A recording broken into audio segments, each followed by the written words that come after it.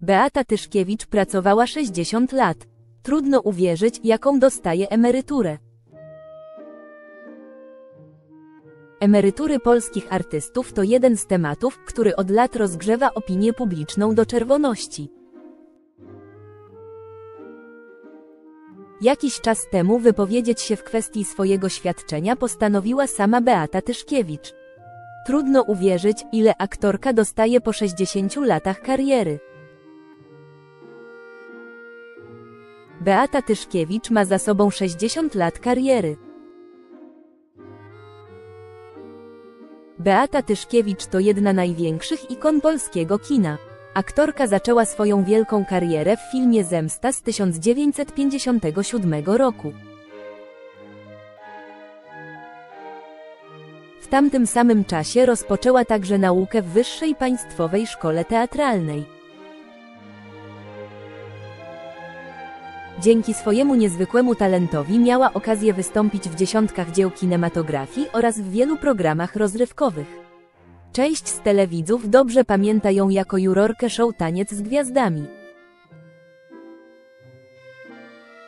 Od 2017 roku artystka nie pozostaje już jednak aktywna zawodowo. Oznacza to, że w sumie udało jej się przepracować aż 60 lat. Wiele osób zastanawia się, jaką emeryturę może otrzymywać 86-latka z tak długim stażem pracy. Odpowiedź może wielu naprawdę zaskoczyć. Taką emeryturę dostaje Beata Tyszkiewicz. Z dalszej działalności medialnej Beata Tyszkiewicz wycofała się ze względu na pogarszający się stan zdrowia.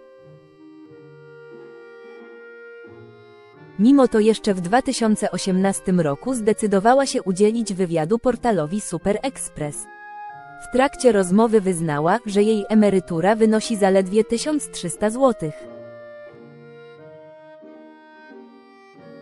Emeryturę mam niską, ale mówiąc o tym, nie biadoliłam, bo ludzie mają niższe. Tylko, że to po 60 latach pracy przeszło.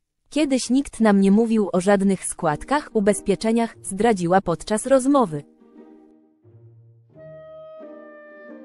Zobacz, Marcin Daniec wyznał prawdę o swojej emeryturze. Będzie pracował jeszcze długie lata. Ze względu na waloryzację emerytur, do której doszło w 2024 roku, świadczenie Beaty Tyszkiewicz najpewniej wzrosło. Według wyliczeń portalu WP Kobieta obecnie powinno ono wynosić około 1700 zł. Należy jednak wspomnieć, że wysokość emerytury Beaty Tyszkiewicz wcale nie należy do najniższych w polskim showbiznesie. Polscy artyści od lat narzekają na wysokości emerytur.